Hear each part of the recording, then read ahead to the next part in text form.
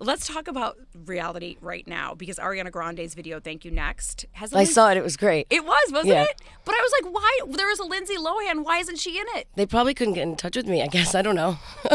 I was like, were you, when you saw Not your- that easy to just fly in from Dubai. True, but when you saw yourself, did you scream? You're like, oh my god! Or they have to ask your permission.